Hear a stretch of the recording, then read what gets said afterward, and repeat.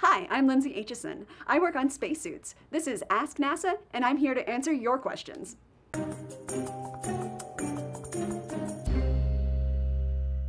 How will NASA get to the moon? Well, we have a brand new SLS, Space Launch System rocket. It's launch day, and all the fire and smoke, all the power, all the power. You're up in space, and at that point, you can lose your abort system, so let that go back to Earth. And then one more big push, and now your Orion is taking three days to fly all the way over to the gateway where it parks, and now you're ready to start the next phase.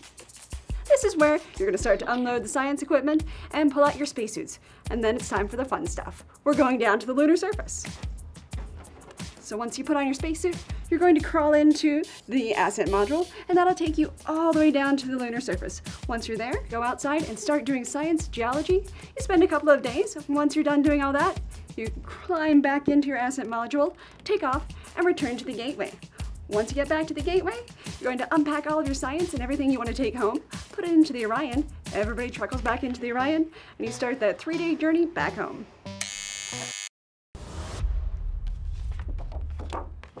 Why do we need the gateway to get to the moon? We're going to the gateway because it makes a lot of sense for sustainability. That means you can go back multiple times and use it to get anywhere around the moon. You can also use it as a staging point on our way to Mars.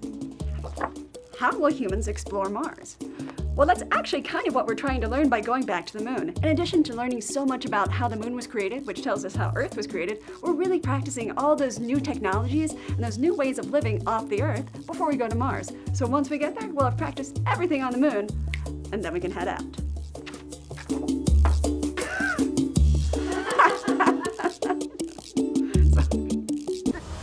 So what will the gateway Wi-Fi password be? Hopefully something easy to remember. Would you go to the moon? Absolutely. Do I get to choose who goes with me? Have you worn an astronaut glove? Oh, hey. Yes, I have. As part of a spacesuit engineer, we try on all of our own hardware. How does NASA throw a party? You plan it.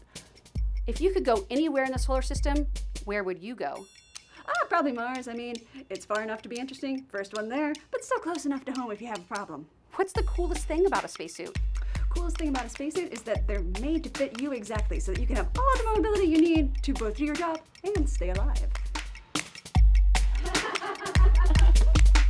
Do you have a question for NASA? Send your questions to our experts on Twitter using hashtag AskNASA.